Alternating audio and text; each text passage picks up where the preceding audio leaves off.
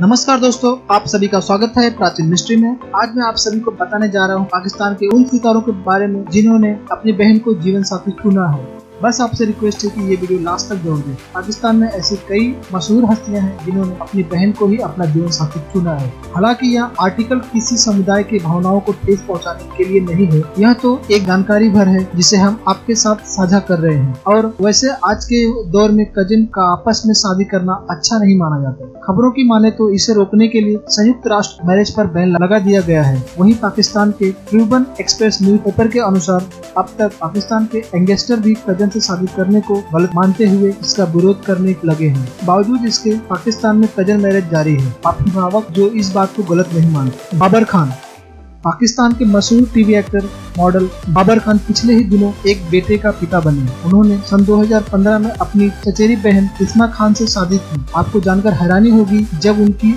इस्मा से शादी हुई थी, तब वह स्कूल में नाइन्थ क्लास की स्टूडेंट थी। इस्मा बाबर की दूसरी बीवी है। इनकी पहली बीवी सना खान की एक्सीडेंट में मौत हो गई थी शाहिद अफरीदी। पाकिस्तान के ऑलराउंडर क्रिकेटर और विस्फोटक बल्लेबाज शाहिद अफरीदी ने भी अपनी चचेरी बहन नादिया अफरीदी से शादी की है। शाहिद अफरीदी की चार बेटियाँ हैं शाहिद अनवर, पाकिस्तान के पूर्व धाकर क्रिकेटर शाहिद अनवर भी अपनी चचेरी बहन लुबना को दिल दे बैठे फिर उन्होंने लुबना के साथ निकाह पढ़ लिया।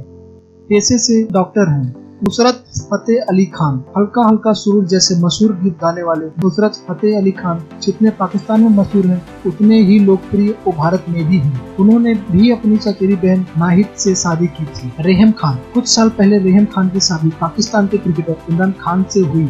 हालाँकि यह शादी ज़्यादा दिनों तक टिक नहीं पाई। दोनों ने एक साल के अंदर ही तलाक ले ली। इमरान से पहले रहम ने अपने कजिन एजाज उल रहमान से शादी की। तो दोस्तों, ये थी आज की वीडियो आपको कैसी लगी? हमें कमेंट बॉक्स में लिख के ज़रूर बताएँ।